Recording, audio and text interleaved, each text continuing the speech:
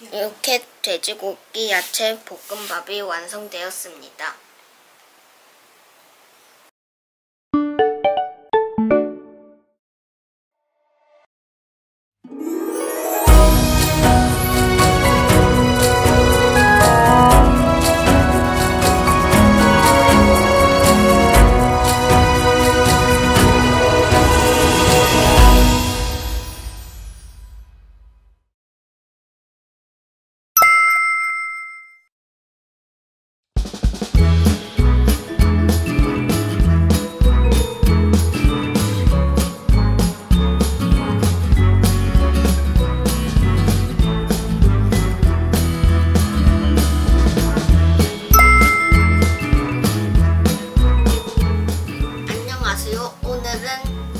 돼지고기 야채 볶음밥을 만들어 보겠습니다.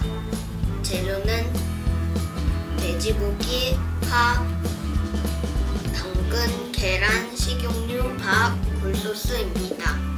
먼저 야채를 썰어야 하는데 칼은 위험하니 엄마께서 썰어 주실 겁니다.